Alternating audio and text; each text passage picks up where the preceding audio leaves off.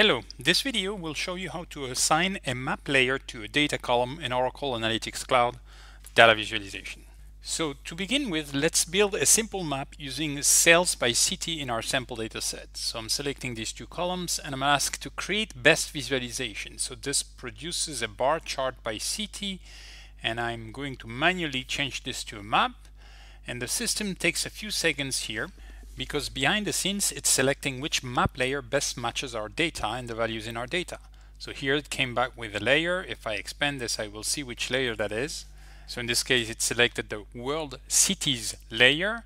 We could override this for this viz here at this point, but we have another option in OAC 5.5. It's to assign a layer once and for all to a data column. So if I go to Prepare tab, select the Location Details choice in the menu on the column City here in this case, because that's the column I want to assign a layer to. And that opens a window where I can assign a specific layer to this column. So I could pick any of the vanilla layers or any custom layers as well. In this case here, let me pick USA cities to pretend that I would want that map to come up when I use this column. So I can see in my case that a lot of my data do not match any values in the USA cities. That's because my data is worldwide. And obviously USA cities layer is USA only, but I still want to OK this just for the sake of this demo. So now I can see that my city column has a visual icon indicating that it is assigned a map layer. So let me apply this change to our data set and let's go back to the visualize tab.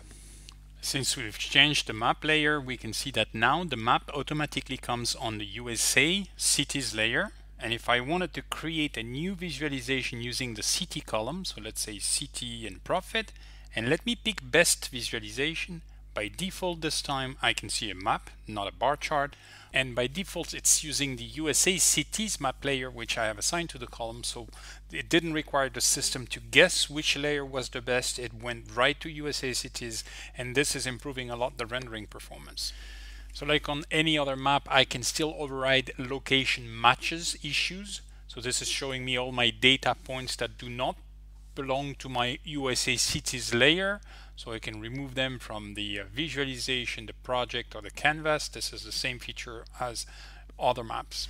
If I wanted to, I could also easily unassign a column from a map layer and just go in the Prepare tab and undo what I did. So this feature is particularly useful when we want the experience of a column to default to a map in a given map and or for instance to assign custom map layers like uh, an office floor plan for example to be attached to a given column like an office ID. Thanks for watching this video.